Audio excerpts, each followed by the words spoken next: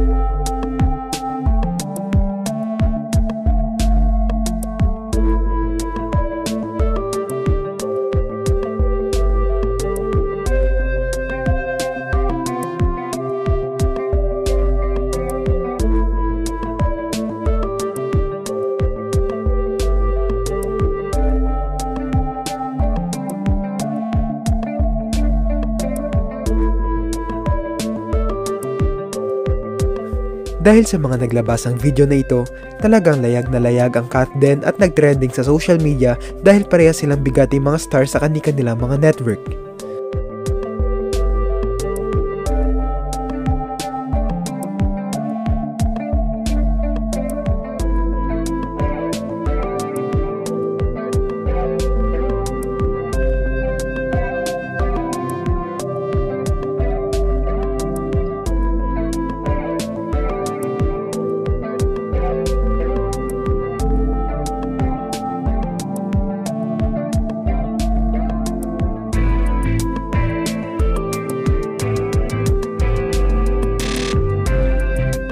Kaya naman ngayon, ang tanong ng marami, ngayong parehas na single na sila Catherine at Alden, may namamagitan na kaya sa kanila sa totoong buhay?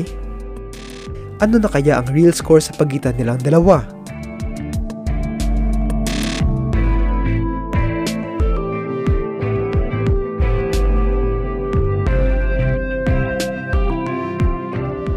Ano ang masasabi nyo rito?